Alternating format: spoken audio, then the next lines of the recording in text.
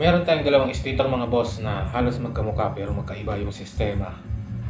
Magkaiba yung charging system at magkaiba yung ignition system. Itong isa mga boss ay stator ng TMX at ito naman isa mga boss ay stator ng ah, China na battery operated.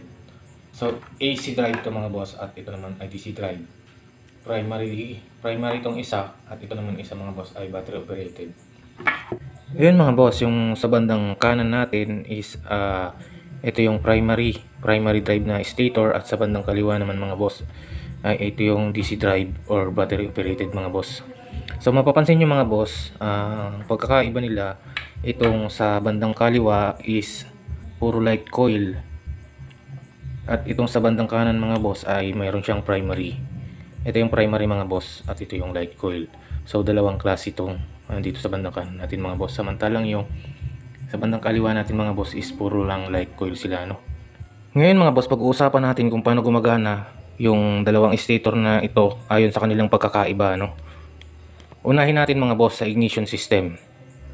Pag sinabing ignition system mga boss, ito yung parte ng sistema na nagpapaandar sa motor.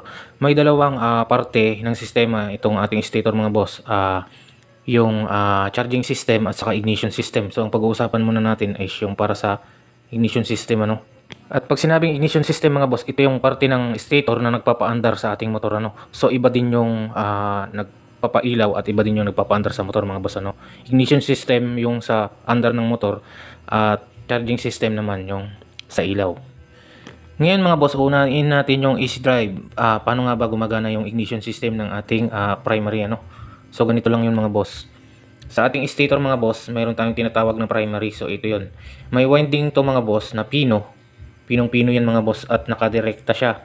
Ito sa red wire papuntang CDI mga boss. So nakadirekta ito sa CDI. Ngayon mga boss, ang gamit na primary drive na CDI is yung primary din na CDI mga boss ano. May primary type na CDI at mayroong ah, DC drive na CDI din mga boss ano. Ang gagaling mga boss yung ignition system dito sa ating primary tapos ah didirekta siya sa CDI mga boss ano. Yung primary drive na ignition system. So yung CDI ang magbibigay ng kuryente dito sa ignition para pumunta sa spark plug. Okay mga boss, ganun lang kadaling intindihin yung ah, ignition system ng ating primary drive na motor ano mga boss yung ating di primary. So galing yung power ng ignition system dito sa ating primary, dumirekta sa CDI, ngayon kinonvert ng CDI yung kuryente para maging high tension. Tapos lalabas siya sa CDI papuntang ignition, i-multiply naman ngayon ng ignition yung kuryente para mas lalong lumakas tapos papuntang spark plug. Ngayon mga boss, ah, kapag primary type yung stator mo, hindi mo siya agad-agad plug and play na pwedeng lagyan ng battery operated na CDI. Mayroon kang babaguhin sa iyong wirings para gumana to. So, sasabihin ko mamaya, ah, papaliwanag ko mamaya mga boss. Okay mga boss, dito naman tayo sa battery operated. Kung makikita nyo mga boss, wala siyang primary na katulad nito mga boss ano. So, puro lang siya light coil. At ang maganda pa ri- rito mga boss ay full wave na siya. So pag-uusapan din natin mamaya mga boss kung ano yung full wave at saka kung ano yung half wave ano. So gumagana naman tong ating ah, battery drive na ah, stator. So puro lang light coil to mga boss ano. Okay mga boss, paano gumagana yung ah, ating battery drive sa ignition system ano? So puro lang ito light coil. So paano nga ba nap- nakakapagpaandar tong ating light coil ng motor ano mga boss? Ah, nakakapagpaandar yan sa pamamagitan ng ah, battery operated din na CDI mga boss. Ang kailangan ng battery operated na CDI mga boss ay 12 volts para makapaglabas siya ng kuryente papuntang ignition.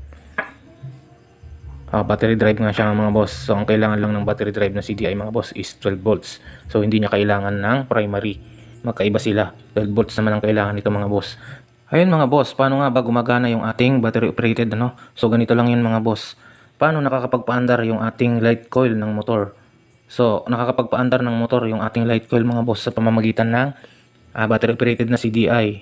Di ba ang kailangan ng battery operated na CDI mga boss is 12 volts.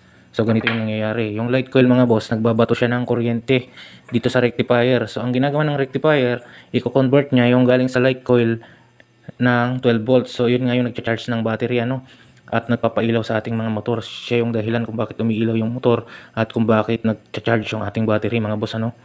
Gawa nung light coil. Pumasok siya sa rectifier ngayon. Yung rectifier, kinonvert niya ngayon ng 12 volts. So, ayan, lalabas dito sa red wire, papasok sa susi. Lalabas ngayon sa susi bilang isang accessories wire ng mga boss, ano. So, papasok siya dito sa CDI. So, ayun, kukonvert ngayon yung CDI ng high, tem high tension na kuryente. At lalabas siya dito sa ignition. So, pareho na sila pag lumabas doon sa ignition. Bali, mas malakas pa to mga boss kasi ah, accurate yung kuryente na dumadaloy. Hindi katulad nitong alternative current na nakabase sa nakabase itong mga boss sa ikot ng magneto. Samantalang ito, kapag mayroong battery ka, yung ah, dumadaloy sa linya mong kuryente is ah, direct current. So, mas solid yung kuryente nito mga boss. So ayun mga boss, sana naipaliwanag ko sa inyo yung ah, patungkol sa ignition system mga boss ng magkaibang stator na to. Ng magkaibang sistema ng stator na to mga boss ano. So ah, sa ibang video mga boss ay pag-usapan naman natin kung ah, ano yung full wave saka yung half wave mga boss. So magkaiba din sila ng charging system ano. At sa ibang video natin pag-uusapan mga boss para hindi magulo. Ito ay full wave at ito naman ay half wave. So magkaiba rin sila ng charging system mga boss. So ayun mga mga boss, ah, sana mayroon akong ah, na-share sa inyo ng konting kaalaman about sa ating stator mga boss ano. Ah, maraming maraming salamat sa inyong magsubaybay sa ating mga video. Sana mga boss ay mag-subscribe na kayo din hit nyo rin po yung ating notification bell para lagi po kayong updated sa mga video natin na i-upload pa.